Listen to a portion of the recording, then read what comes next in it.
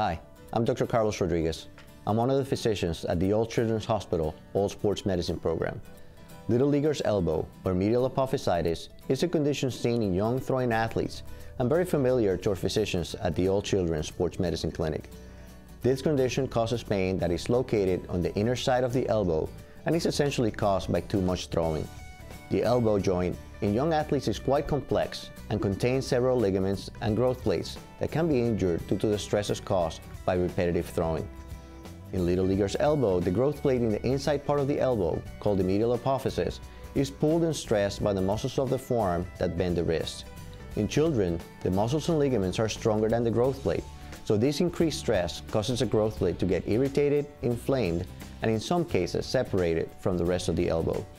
Our physicians at the All Children's Sports Medicine Clinic will ask you about your symptoms, examine your elbow, and order some x-rays for your elbow. Treatment is based on the amount of inflammation and referral to orthopedics may be needed if the growth plate has suffered significant separation.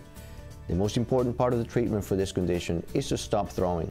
Ice can be applied to the area for 15-20 minutes, 3 to 4 times a day until the pain goes away. An elbow sleeve can be recommended for support as well as a prescription for anti-inflammatory medication. A rehabilitation and throwing program will be started once your condition has improved. Our goal is to return you safely and quickly to your activity. However, we do not want to return you too soon as this can lead to permanent damage to the elbow. In general, the longer you have symptoms, the longer it will take to get better. The best way to prevent Little Leaguer's elbow is to limit the amount of throwing a child does. Pitch counts and rest between games are necessary to allow the elbow to recover we have developed an educational card for coaches, parents, and athletes to help them understand this condition and provide information regarding pitch counts. And remember, stay healthy, play safely, but most importantly, have fun.